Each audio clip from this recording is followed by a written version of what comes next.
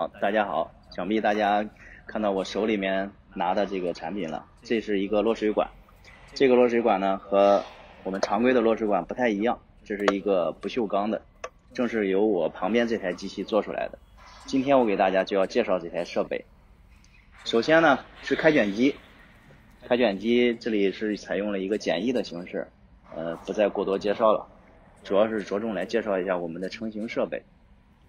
成型机部分呢，呃，主要有两方两方面组成，一个是成型前半部分，还有一个后半部分的锁口。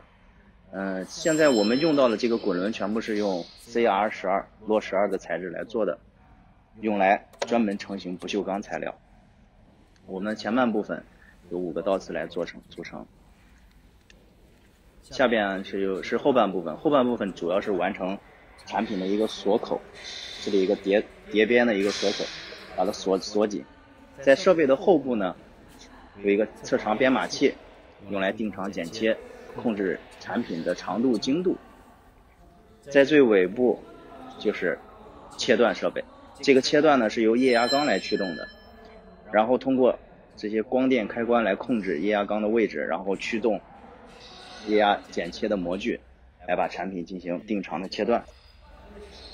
在机器的旁边呢。这个是我们设备上面配备的一个操作面板，操作面板呢有